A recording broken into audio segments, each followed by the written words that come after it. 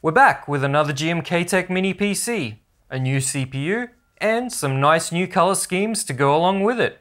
So how does the NucBox K6 compare to the competition? That's what we're going to answer just after this message. EaseUS Todo Backup Home is an award-winning backup solution to keep your data safe. Backup, clone, upgrade, or transfer your system easily, and protect it from ransomware. Todo Backup Home even supports backing up to the cloud.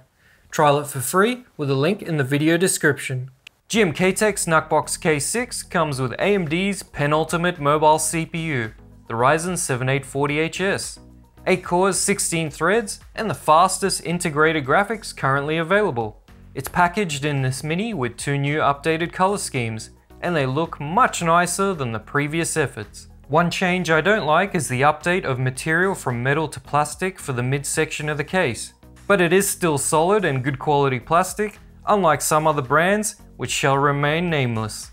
But you can't beat that premium metal feel. There's a little creak on the top lid, but apart from that, it's pretty good. Overall, I think it's a nice looking box in a sea of bland. You can find the NucBox K6 on the GMKtec official website in various configurations. There's even bare bones for those wanting to put in their own memory, storage, and OS, which starts from 430 US dollars after the coupon. While on Amazon US, the K6 Steel Blue is 600 bucks after the coupon, and the Space Blue, which I think looks even better, is currently slightly cheaper at 588 US dollars. Whichever you go for, the configuration on Amazon is a 1TB Gen 4 NVMe drive and 32GB of memory at 5600, same as the unit I'm reviewing. The K6 comes with an accessory kit with some new items I haven't seen included before. The power supply is smaller than usual for the wattage, but there's also a screwdriver and plastic prying tool for opening it up, which is new. It also comes with a monitor mount, manual, and HDMI cord. The ports on the K6 are similar to other mini PCs in this range.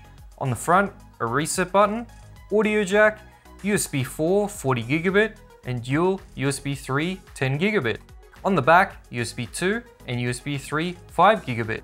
For display output, you've got a DisplayPort and HDMI 2.0, and for networking, dual Realtek 2.5GB LAN jacks are included. The K6 is powered by a barrel jack connector, you can run three displays on this one, up to 4K 60Hz for DisplayPort and HDMI, and the USB 4 port should support up to 8K 60 even though it's not mentioned in the specs. Just like GMKtec's previous minis, you can open this one pretty easily by popping off the top lid. And then there are four screws for this new part. Now you know what the screwdriver is for. And it also helps to use the prying tool provided to get it out. Watch out for the fan cable. And look at that. Previous criticism has been listened to. The memory and storage now have cooling, a fan for both, and a heatsink on the NVMe drive too. I almost feel like dancing. Almost. You can expand storage with an additional 2280 Gen 4 NVMe drive, and underneath the first one is the M.2 Wi-Fi 6E Bluetooth card, which is a MediaTek RZ616. Any configuration apart from the bare bones will have Windows 11 Pro pre-installed, the K6 passed my Ubuntu test off a USB drive with everything such as audio, Wi-Fi, Bluetooth, and Ethernet working fine. One of my favorite minis of late last year also had the Ryzen 7840HS CPU. So I thought the Beelink SER7 would be a good comparison for the GMKtec NucBox K6 as we hit the benchmarks. In single core Cinebench, the K6 is 3% behind the SER7 at the default balanced power mode, but you can go into the BIOS and change it to performance, which also increases power consumption, heat, and fan noise. This way, it beats the SER7 slightly. In multi-core, it's almost 4% behind the SER7 at default, but with the power limit increased, the K6 beats the SER7 by around 1%.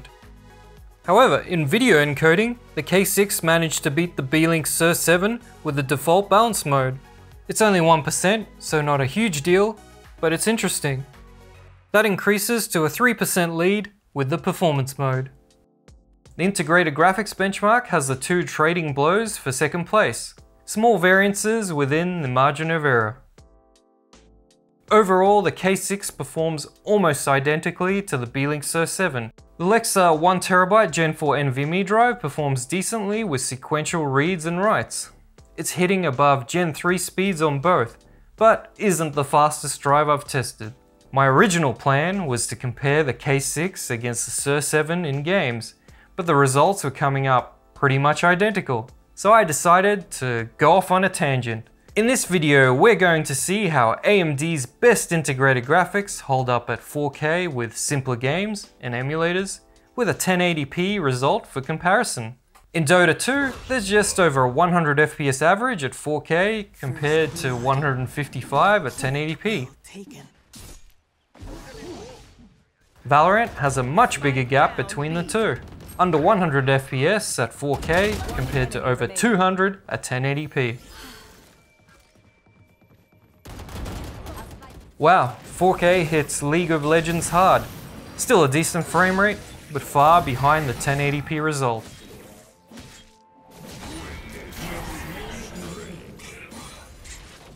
Counter-Strike 2's low preset uses image upscaling for better frame rates. Normally, I don't enable this for my tests, but it's part of the preset, so I'm leaving it in. About half the frame rate for 4K. Forza Horizon 5 is one of the less demanding modern games, and upping to 4K brings back less than half the frames.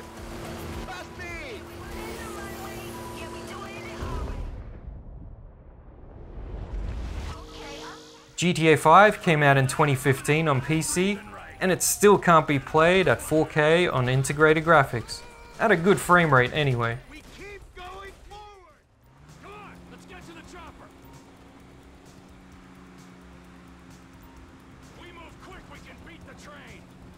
Testing Wii U emulation now. The hardest emulate game runs at 4K about as well as it did on the Wii U. Wipeout HD Fury looks amazing at 4K with the PS3 emulator, but falls below 60 FPS, so it's not as smooth as I'd like. I need to replay it at 4K someday, but let's enjoy some of that eye candy.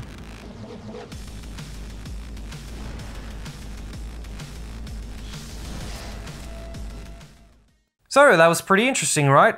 Well, I didn't test 1440p because of time constraints, just take the frame rate number halfway in between the two, and you'll be in the ballpark. The last gaming test is to connect my eGPU with an RTX 3070 to the USB 4 port, and I tried out Starfield at 4K with DLSS. It's working fine. Here are the power options some will find useful. CPU max temp at 87 is pretty close to the SER7, but jumps to the 90s with max performance. While fan noise is higher on this one at both idle and load. That new fan cooling the memory and SSD isn't one with large blades and adds to the noise. With performance mode enabled, maximum fan noise reaches a new high. I think it's best to stick to balance mode or even try quiet if you want to reduce fan noise further.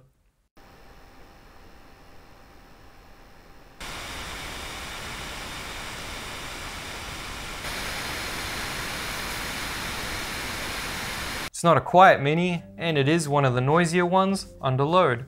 The K6's idle power draw is slightly higher than the SER7's, but the maximum is 10 watts lower, and considering CPU performance was only down a few percent at worst, it's a good result.